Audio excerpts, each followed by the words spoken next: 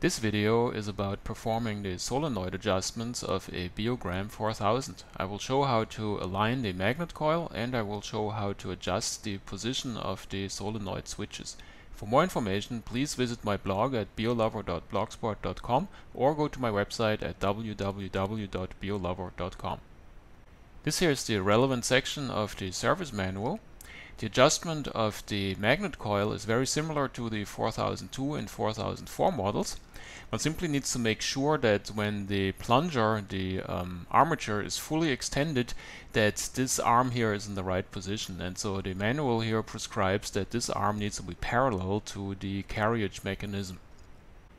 One of the main differences between the Beogram 4000 and the later 4002 and 4004 models is that the solenoid of the Beogram 4000 directly activates these switches as the tone arm goes down to the platter.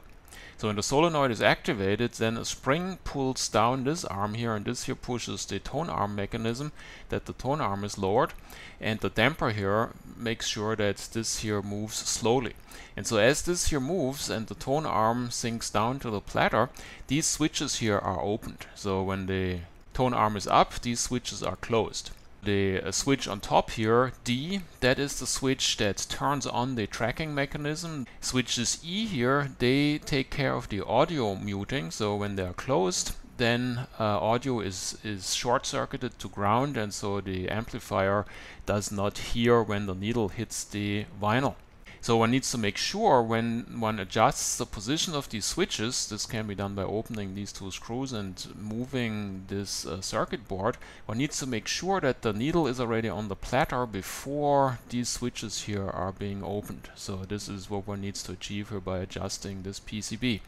Now the third switch, that is the current limiter for the solenoid. When the solenoid is activated first, a large current is permitted to rush into the solenoid so we get enough force to really move that plunger down against the spring forces and so forth here. But once the plunger is down, all we need to do is keep it down and hold it in position and this can be done with a much lower current in this uh, coil. So when the switch here is opened, an additional resistor is being put into the circuit and that limits the current that goes into this solenoid. So this is actually very important. Whenever you do an adjustment here, you should make sure that when the arm is down, measure this with a voltmeter. You need to make sure that these contacts are really open, otherwise you get a high current here for a long time in this coil and that cannot be good for its longevity. Here you see the relevant section of the circuit diagram. These are the four switches and this here is the solenoid coil. Now the two switches over here, those are the left and right channel audio muting switches. All they do is connect the audio signals to ground when they're closed. The switch over here, that is the tracking enable switch. So whenever this one opens, the uh, tracking sensors are connected to the 24 volts, right? When they're when the switch is closed, it short circuits the 24 volts across this 10k resistor to ground, and so the uh, light sensitive resistors in the tracking sensor cannot operate. The fourth switch, that is the solenoid current limiter, and this switch simply bridges this current limiting resistor that controls otherwise the current into the uh, coil. It short circuits this resistor to ground while the coil is activated and so this creates a much larger current that goes into the uh, coil. Okay, let's have a look at the adjustments. First I want to show you how a wrongly adjusted coil uh, behaves.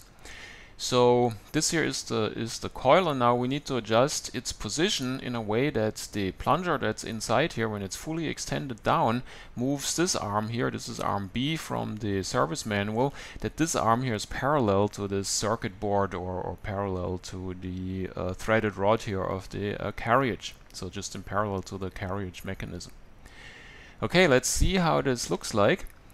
So I, I put it too far down and so you see here that it actually hits the uh, circuit board and this is of course not what you want.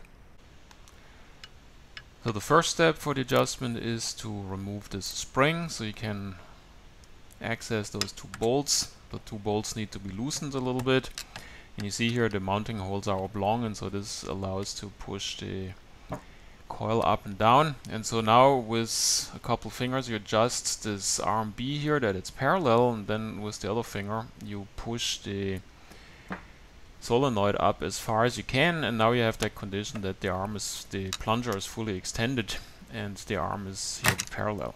Okay, so now the screws are tightened and then of course we have to put the spring back.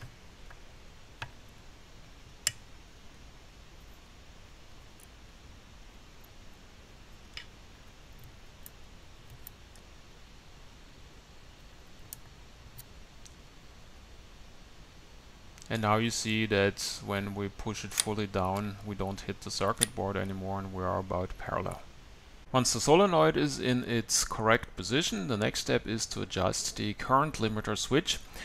And this switch needs to be adjusted that when the uh, arm B here is parallel, that we have a gap here that's between 1 millimeter and 0.5 millimeter.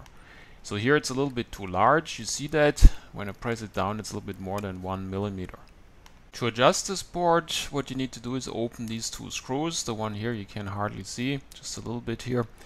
Um, they are pretty difficult to get at because they are underneath the wires here and very close to the uh, threaded rod. So while I do this here, you will see a lot of my hand, but very little of the uh, actual action at the uh, screws.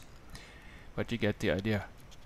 So you can stick the screwdriver between those wires and open those two screws and then basically the circuit board here needs to be uh, pushed down a little bit and so this is best done with a screwdriver that you can jam in here while you tighten the uh, screws again. This can be a little bit tricky and uh, it can take a few tries to get this board to the right position. Tightening the screws now and then we hope for the best. So let's see. And so you see now this gap here is a little bit smaller, maybe one millimeter. Okay, the final task is to adjust this board. And here the criterion is that the uh, audio muting switches only open after the needle hits the uh, record. And so when you push this board down, then this arm here has a little bit more time before the switch opens, and if you push it up, it has less time. So when it takes too long after hitting the platter, so you don't hear the music for a couple turns, then you want to push this up. If you hear the needle hit the platter, then you move this down. The, the switch up here, the position is not so important as long as the uh, contacts are open when the uh, solenoid is fully extended. So let's see how to do this. So you just open these two screws and then you can move the board until you get the right timing.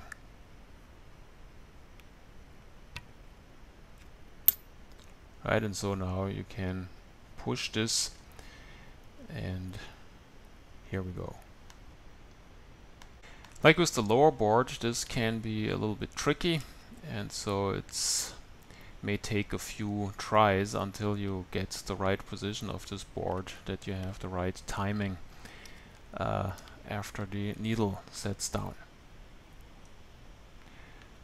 Once you think it's in the right position, then you simply tighten these bolts and that's about it.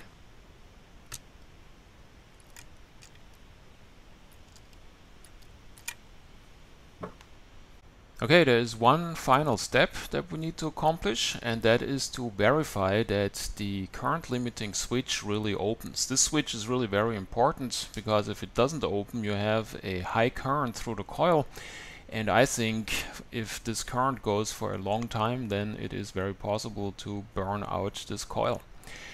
Now the way to do it conveniently is to connect at the emitter of transistor 4 that controls the current through the coil and measure against ground. So whenever the resistor is in play, then of course you see a voltage drop across the resistor and I measured in this particular turntable about 4 volts. So if you don't get something like 4 volts uh, at the emitter of the transistor, then something is fishy and you need to look at this switch again. Okay, this concludes my video. Now you know how to adjust the solenoid in a Beogram 4000. I hope you enjoyed it. Thanks for watching.